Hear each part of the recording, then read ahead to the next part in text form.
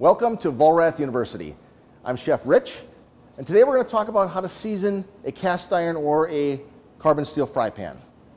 Raw iron pans, when you first receive them, they don't cook very well. Food will stick and they'll also rust. So that's why you want to season these pans. There's many different types of, of seasonings and methods that people have used throughout the years, talking about the differences in oils and techniques. And lately I've been reading a lot about flaxseed oil. And today I'm going to show you how to use flaxseed oil on a stove top to season a carbon steel fry pan. Raw steel pans such as carbon steel and cast iron are typically shipped like this in a bag with light oil on them. So the first thing you want to do when you receive your new pan is thoroughly clean the pan of all the manufacturing oils that were used and put it on the stove and begin to heat the pan.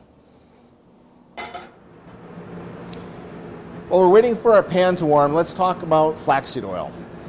The reason we want to use the flaxseed oil is because it's very high in omega-3 fatty acids. And these acids, when it reaches its smoke point, change and polymerize and then further cross-link and bond to the surface of the pan, the, the iron surface. And that's what begins to form our season coating. Okay, now we want to turn off the heat and apply a little flaxseed oil. Next, we're going to take a clean cloth, paper towel, and rub that flaxseed oil over the surface of the pan. We really want a nice, very, very thin layer of the oil in the pan. We don't want to see any drips or runs. So just a nice thin layer of the flaxseed oil in the pan. Now we return the pan to the stove and let it under high heat. We want to heat this pan on high heat until the oil reaches its smoke point and it'll begin to bond again to the surface of the pan. Okay, now after several minutes, your pan will look like this. The oil has reached its smoke point and again be began to adhere to the pan. Now what we want to do is let that pan cool.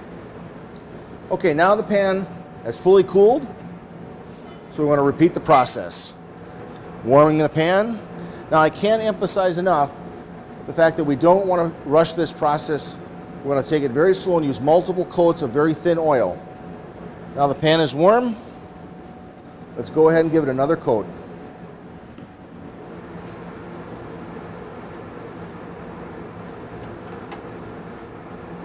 Again, being very careful not to have any drips or runs. And let that pan have another process. You can see now that the oil has reached its smoke point. It's beginning to evaporate and, and form that cross-link to the previous layer.